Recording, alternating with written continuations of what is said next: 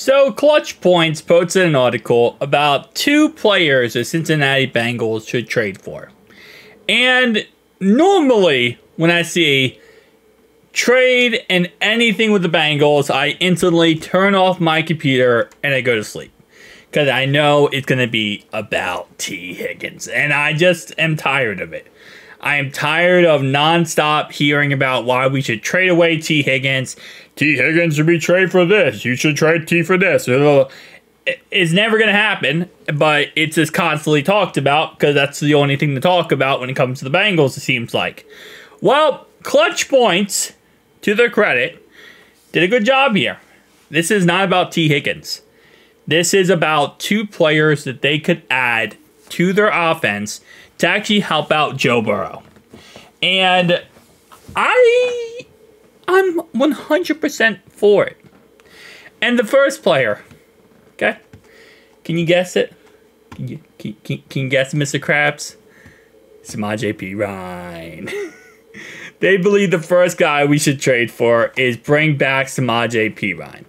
And listen, the fact that we brought back this offseason Vonn Bell had a chance to bring back Hayden Hurst, decided not to, even though he wanted to come back. But we decided not to bring back Hayden Hurst. But we brought back Samaje Ryan. I'm sorry, we brought back Vonn Bell. Not Samaje Ryan yet. But yes on Samaje Ryan here. And this makes perfect sense. Right now, the Broncos are in a very weird period. They're like in a kind of a mini rebuild, right? They just got Bo Nix at quarterback trade away Jerry Jeudy. Courtland Sutton might get traded away. Patrick Surtain most likely won't be traded away, but they could also trade away some other pieces as well.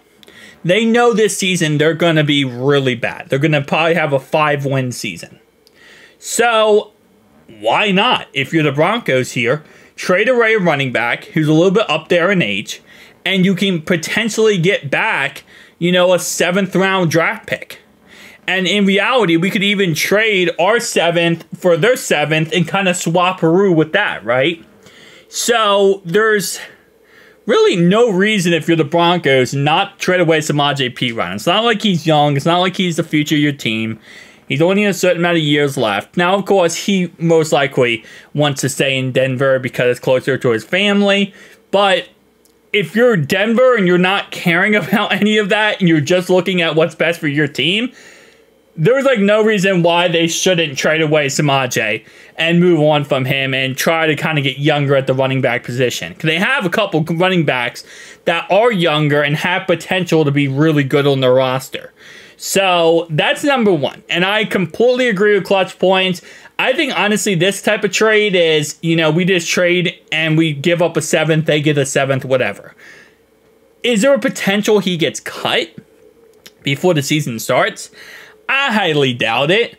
Um, it would really have to be preseason just looks so good for the other players on their roster at the running back position. And that's really what ends up happening. It wouldn't surprise me with Sean Payton because I feel like Sean Payton just really wants to get rid of everything that it was from uh, Nathaniel Hackett. I believe Samaje Perine, though, was not Nathaniel Hackett. He might have been. I'm not exactly sure. But he wants to get rid of everything from the old team pretty much and wants to rebuild and build himself his own superstar squad.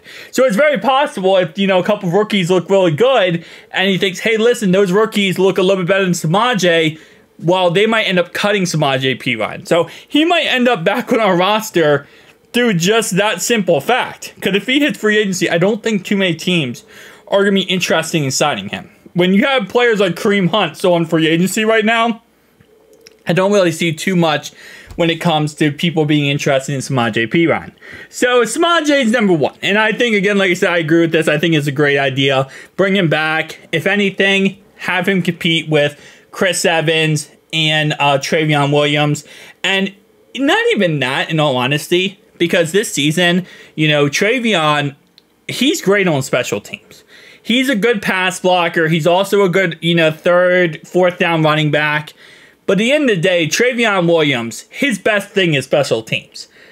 I would keep Trayveon to purely be a special team guy and just get someone else who can be that third running back for us, right? That's where Samaje Perine could come back and be very good. He's great in pass blocking. He's great at catching the ball. He's great at running the ball.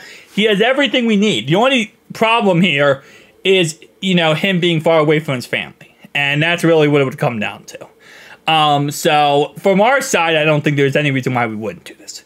But from to honor his best wishes, I'm not sure how it would work out. Um, second guy is Greg Dortchich. Dortch. This is not the guy I'm talking about. Um, that that is definitely not the guy. Dulcich is the guy I'm talking about. This is Greg Dortch, who is um very great player, but not the guy we want. Yeah, th this guy. Now, I disagree with this greatly. I am completely against the idea of trading for Greg here. Listen, okay, last off season, we didn't really know how our tight end group would look. But we knew it would be Irv Smith, most likely Mitchell Wilcox, and most likely Drew Sample. And then randomly, we picked up a guy from the 49ers practice squad named Tanner Hudson. And it was kind of ups and downs. Some people say, hey, we should have him on the active roster. Some people said we shouldn't. Okay? And he ended up making the active roster in the end, not right away. Actually, he didn't really make the active roster. He got he got put up to the active roster from the practice squad. Okay, that's what I'm trying to say.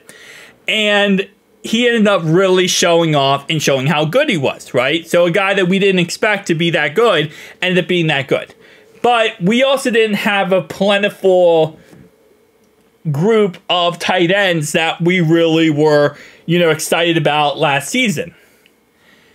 This season, we have a lot, and I mean a lot of options.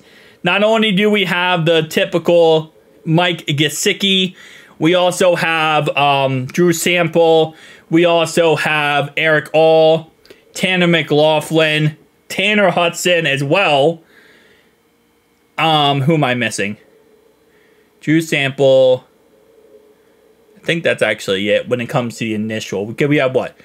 Uh, Mike, Drew, and obviously Drew most likely goes to fullback. In all honesty, Tanner McLachlan, who ends up, you know, reality wise, let's say let's say Drew goes to fullback. Okay, so then we have Mike, Drew, Tanner, Tanner.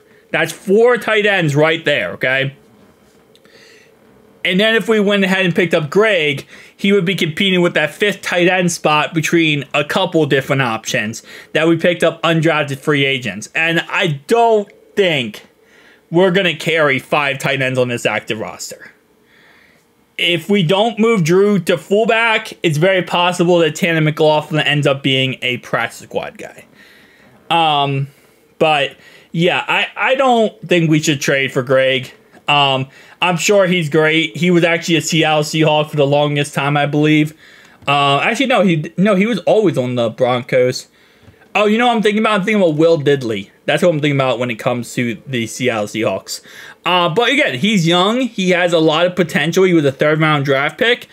I don't think we need another tight end. I think that's something that we can uh, kind of live without. Okay, you want if you want to say, hey, trade for an offensive lineman, sure. Trade for all the linemen you want. Collect them like they're Pokemon. I'm cool with that. But when it comes to Gar, I mean, when it comes to tight ends, I'm I'm okay. I'm okay with that. Tell me down below your thoughts, opinions, guys. I'll see you guys next one.